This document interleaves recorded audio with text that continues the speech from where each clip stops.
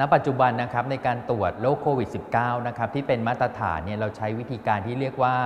RT-PCR นะครับนั่นคือการสวอปหลังโพรงจมูกนะครับเพื่อตรวจว่ามีเชื้อโควิด -19 หรือเปล่านะครับแต่เราพบว่าในระยะต้นของโรคเนี่ยอาจจะมีผลลบลวงได้ ในทางการแพทย์เนี่ยจึงมีการนำวิธีการทางรังสีวิทยา มาตรวจว่ามีความผิดปกติของปอดหรือเปล่านะครับ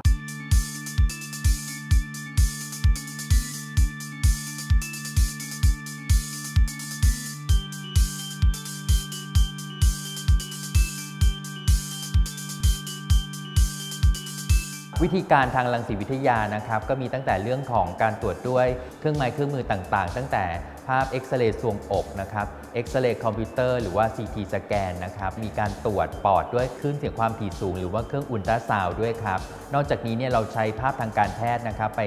เข้าระบบปัญญาประดิษฐ์หรือว่า AI นะครับในการวิเคราะห์ความน่าจะเป็นของการเป็นโรคโควิด -19 ด้วยครับ ณ ปัจจุบันก็เป็นที่ทราบนะครับว่าเครื่องเอ็กซเรย์คอมพิวเตอร์หรือว่าเครื่อง CT สแกนนะครับเป็นวิธีการตรวจอวัยวะต่างๆ ในช่องอกนะครับได้อย่างดีมากเลยนะครับ แต่สิ่งสำคัญในการตรวจคนไข้ที่เป็นโรคระบาดทางระบบทางเดินหายใจ นั่นคือเรื่องของการ ออกแบบทางกายภาพนะครับ รวมถึงเรื่องของการระบายอากาศ ระบบไฟฟ้านะครับ แล้วก็รูปแบบการเดินทางของผู้ป่วยนะครับ ที่เน้นเรื่องของความปลอดภัยต่อบุคลากรทางการแพทย์ครับ เจ้าหน้าที่เนี่ยจะมีการใส่เครื่องป้องกัน ชุดป้องกันที่เรียกว่าชุด PPE นะครับของเจ้าหน้าที่นะครับ อย่างเคร่งครัดนะครับแล้วก็ใช้เวลาในการตรวจเนี่ยน้อยที่สุดนะครับหลังจากที่ตรวจแล้วเนี่ยเราจะใช้เวลาอันสั้น แล้วก็ลำเลียงผู้ป่วยกับหอผู้ป่วยด้วยความเร็วที่สุดนะครับ หลังจากที่คนไข้มาตรวจด้วยเครื่องเอ็กซเรย์คอมพิวเตอร์หรือ CT นะครับ ในระบบของ CT เนี่ยจะนำข้อมูลของเอ็กซเรย์คอมพิวเตอร์หรือ CT เนี่ยเข้าไปที่ซอฟต์แวร์นะครับทำให้เกิดภาพทางการแพทย์ครับ และก็นี่ก็คือเป็นตัวอย่างของคนไข้ที่เป็นโรคโควิด -19 นะครับตัวรอยโรคเนี่ยมันก็จะกินไปที่เนื้อปอดนั่นเองนะครับคือถ้าเป็นมากเนี่ยก็จะเกิดความทึบเข้มที่มากยิ่งขึ้นนะครับลักษณะที่เจอได้ในโรคโควิด -19 เนี่ยก็มักจะเป็นที่ปอดทั้งสองข้างแบบนี้เลยนะครับโดยที่ตำแหน่งที่เขาจะเป็นเนี่ยก็จะชอบเป็นบริเวณส่วนล่างของปอด ซึ่งหลังจากที่เราได้ภาพเอ็กซเรย์คอมพิวเตอร์นี้นะครับเราก็จะส่ง ข้อมูลนี้นะครับไปสู่เทคโนโลยีปัญญาประดิษฐ์ในการวิเคราะห์นะครับว่าจะมีโอกาสเป็นโรคโควิด -19 มากน้อยแค่ไหนด้วยครับ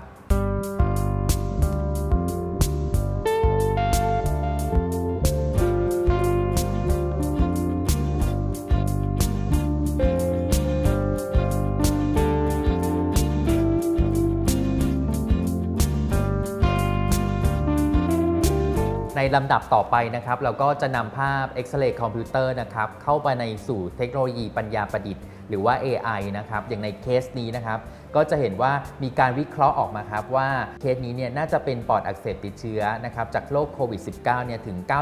99.8%นะครับ นอกจากนี้เนี่ยเขาก็จะมีการหารอยโรคให้เราด้วยนะครับ ก็เป็นวงบริเวณที่เป็นเนื้อปอดที่แทนด้วยสีเขียวนี้นะครับ แล้วก็บอกว่ามีการ กินเนื้อปอดมากแค่ไหนนะครับ ในรายนี้พบว่ามีการกินเนื้อปอดอยู่ที่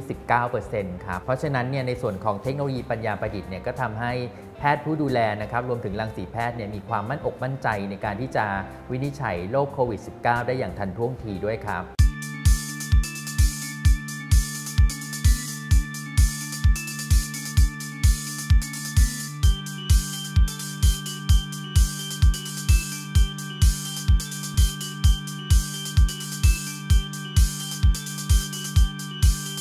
ณปัจจุบันนะครับเอ็กซเรย์คอมพิวเตอร์เนี่ยเข้ามามีบทบาทในการดูแลผู้ป่วยโควิด -19 เนี่ยครับเราใช้ในกรณีที่คนไข้เนี่ยเป็นปอดอักเสบแบบที่รักษาแล้วยังไม่ดีขึ้น มีความซับซ้อนของตัวโรคในกรณีที่มีการระบาดในวงกว้าง ยกตัวอย่างเช่นที่เมืองอู่ฮั่น ประเทศสาธารณรัฐประชาชนจีนเนี่ยเราจะใช้เครื่องเอ็กซเรย์คอมพิวเตอร์มาเป็นตัวคัดกรองเลยครับ เพราะฉะนั้นเนี่ยตัวเอ็กซเรย์คอมพิวเตอร์หรือ CT สแกนเนี่ยจะมีบทบาทในการคัดกรองในกรณีที่มีการระบาดในสังคมอย่างในวงกว้างนะครับซึ่งตอนนี้เนี่ยทางโรงพยาบาลรามาธิบดี และก็สถาบันการแพทย์จักรีนฤบดินทร์นะครับเราก็มีการเตรียมความพร้อมของเครื่อง เอ็กซเรย์คอมพิวเตอร์หรือ CT สแกนนะครับร่วมกับเทคโนโลยีปัญญาประดิษฐ์หรือว่า AI นะครับในการที่จะรองรับการตรวจคนไข้ในปริมาณมากนะครับรวมถึงประสิทธิภาพในการคัดแยกจำแนกผู้ป่วยทำให้เกิดการวินิจฉัยที่รวดเร็วนะครับแล้วก็มีประสิทธิภาพครับ